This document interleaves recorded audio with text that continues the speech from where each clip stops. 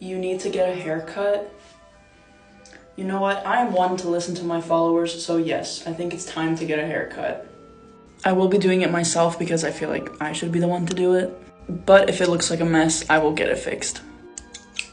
I'm gonna start off with a small section and I wanna like layer it, so I'm just gonna